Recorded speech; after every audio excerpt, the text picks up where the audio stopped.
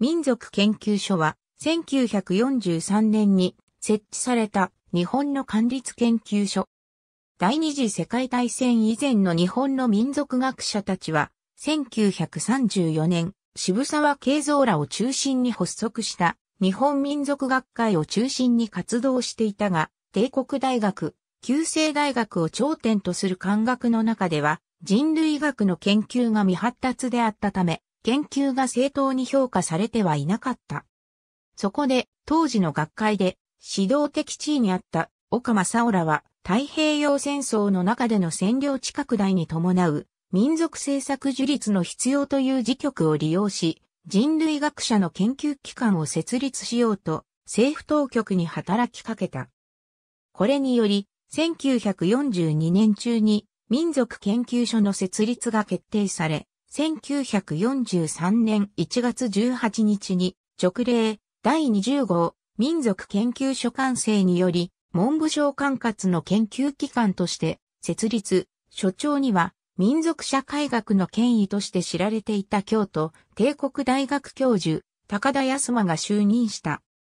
この研究所は民族政策に寄与するため諸民族に関する研究を恐怖ことを目的とし、日本最初の管立人類学研究機関であったことから、戦術の岡正夫を筆頭に、当時の代表的民族学者が参加し、主として応答は共栄圏の啓蒙活動など国策への協力と並行して質の高い実証研究が行われた。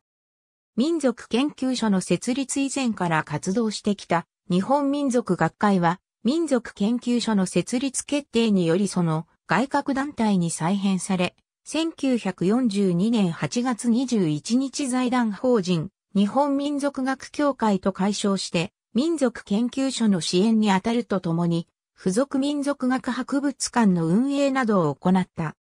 1945年8月の日本の敗戦に伴い同年10月民族研究所は廃止されたが、日本民族学協会は活動を続け、1964年4月には学術団体としての日本民族学会が復活した。以下の6部門で構成されていた。